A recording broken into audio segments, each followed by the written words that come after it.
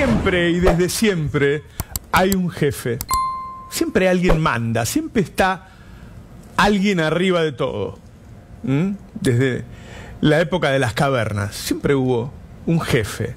Y uno se pregunta, en esta cosa horrible, aberrante que ocurrió ayer, en donde adentro estaban entregando el país y afuera estaban cagando a palo a los pocos que se dan cuenta que están entregando el país, alguien mandó, alguien fue el jefe. Para empezar hay que decir que este jefe tuvo mucho que ver con que voten a mi ley.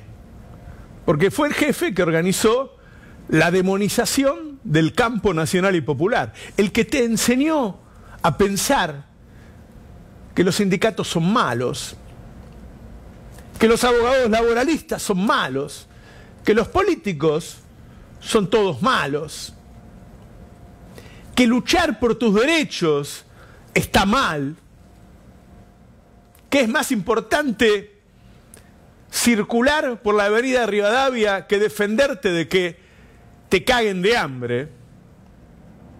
Esos tipos que generan desclasados, que cambian el sentido común. Esos son los que mandaban ayer. Víctor Hugo siempre nombra a Mañeto y claramente es el más importante, pero no el único. Pone la tele a la noche y pasa a los canales. ¿Cuál encontrás que está defendiendo tus intereses? Bueno, ayer, en algún momento, alguien se dio cuenta de que la gente estaba protestando y de que eso podía hacer que cambiara la ley. Entonces, desde el grupo Clarín, se empezó a exigir, a exigir que se frenara la protesta. Quiero que veas a periodistas de TN apretando al ministro de Seguridad de la Ciudad de Buenos Aires. Míralo. Venimos cumpliendo con nuestros objetivos, que es eh, encontrar el equilibrio entre quien pueda manifestarse y quien quiera circular. Y hay momentos donde por ahí se interrumpe el tránsito, momentos donde aparece algún exaltado, El tema, ministro... quiere sacar ventaja y demás, ¿no? No, yo lo que le planteo es esto, digo, haciendo un balance de, digamos, de perjudicados, yo no puedo no, no pensar en una persona que quiera transitar libremente por la avenida Callao de la ciudad de Buenos Aires para ir a trabajar, el kiosquero que tiene el kiosco donde pasa la marcha, el que tiene que llegar a un turno médico y va a llegar tarde porque la marcha, el embudo inevitablemente te demora. Yo, yo, ministro, nos conocemos hace mucho tiempo, yo sé cómo piensa usted, por eso es que mi pregunta es esta, ¿no están recuperando espacio perdido en este mes quienes están acostumbrados a entorpecer el funcionamiento de la ciudad que quizás en esa primera semana de cambio de gobierno habían visto restringida su capacidad de hacer daño? Ese periodista se llama Gonzalo Asís, pero claramente él no es el importante. Pero él le estaba diciendo a un Waldo Wolf que decía algo muy sensato, yo tengo que buscar cuidar los dos derechos, le estaba diciendo que no, que no tenían derecho a protestar, porque adentro estaban firmando cosas como que de ahora en más, justamente, si vas a protestar, va a haber una pena de cinco años si vas a ir en cana. Que adentro estaban firmando que de ahora en más las concesiones van a ser sin plazo máximo, es decir, para siempre, de una obra pública, de una eléctrica, de una gasífera, y con rentabilidad asegurada que no podías ir a protestar porque adentro se estaban liberando todas las exportaciones y todas las importaciones del país. Es decir, que ahora, cuando quieras comerte un bife, vas a competir con el salario de un alemán que tiene para pagar ese bife y a vos te lo van a poner al mismo precio. Porque adentro estaban prohibiendo que todos los empleados públicos del país, médicos, enfermeros, maestros, todos, de ahora en más, no pueden tener opiniones políticas. Porque adentro se estaba instrumentando un saqueo con represión ese periodista estaba apretando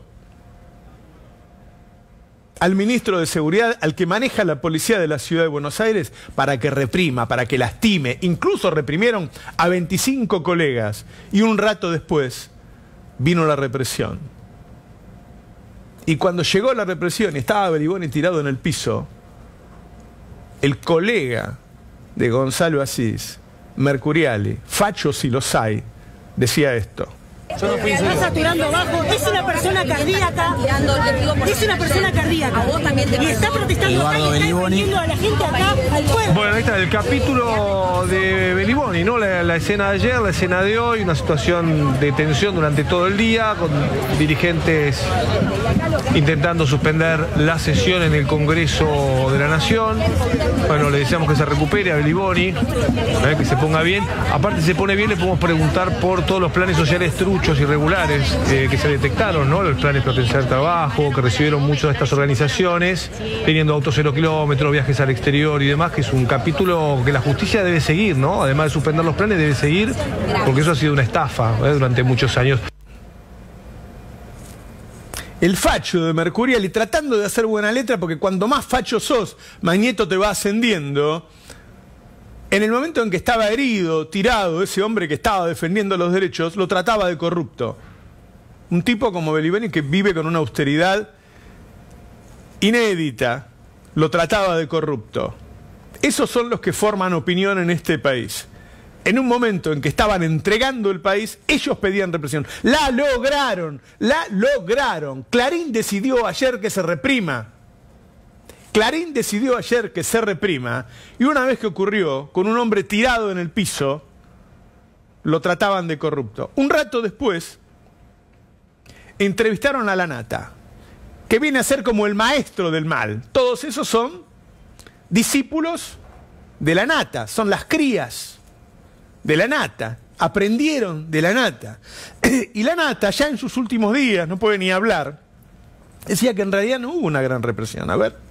Eh, eh, hago un llamado al periodismo en general. Usemos la palabra brutal represión cuando sea una brutal represión. Sí, está bien. Está bien. Lo que vimos hoy no es una brutal represión. Yo lamento, a mí no me alegra la represión, ni... ahora me parece que no es una brutal represión. Estos tipos son los responsables de la situación en la que estamos. Vivíamos en un país hasta 2015 en donde en este momento, ¿sabes a dónde estabas? De vacaciones estabas, con tu auto nuevo estabas y podías ir a comer afuera.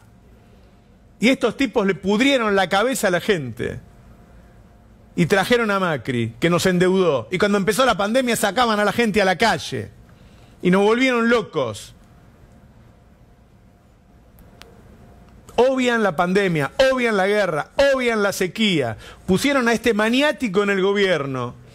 Y ahora ellos mismos lo presionan y le festejan la represión para que el pueblo no resista. Y le han lavado la cabeza al pueblo, que el, el pueblo naturalizó no defenderse. El pueblo naturalizó la defensa a los ricos. Están generando un pueblo desclasado, estúpido, zombie, que se entrega sin luchar y los pocos esclarecidos que aún tienen la posibilidad de pensar y van a pelear son apaleados y son apaleados por culpa de ellos.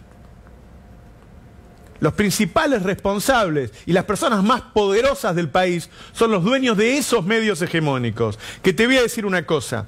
El otro día festejaban y lo denunciaban a Grabois. Decían, el ENACOM tenía un negocio con Grabois. No, señor. El ENACOM tenía subsidios para cientos de pequeños medios, para pueblos originarios, para pequeñas comunidades en el país, que le dan la posibilidad al pueblo de tener otra voz y no solo la del Grupo Clarín.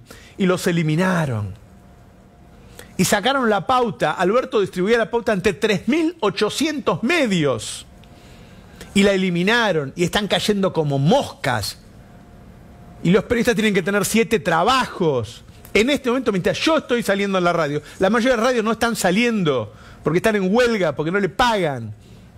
Es mentira que no tienen pauta. Los libertarios festejan como pelotudos que se eliminó la pauta y todos tienen pauta menos los que estamos resistiendo.